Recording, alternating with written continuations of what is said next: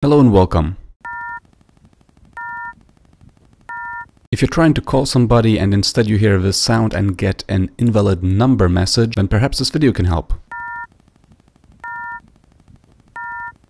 So all of a sudden this phone stopped working and couldn't call anybody at all. Instead I would hear these beeps and there would be no call. In my case there was a very easy solution thankfully. All I had to do is go to the settings, then go to connections, then go to mobile networks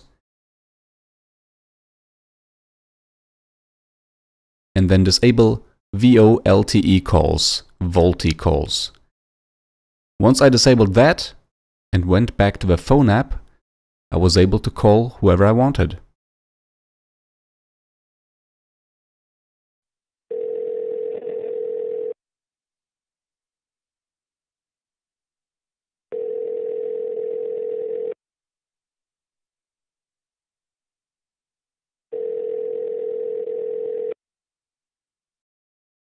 Again, in settings go to connections, go to mobile networks,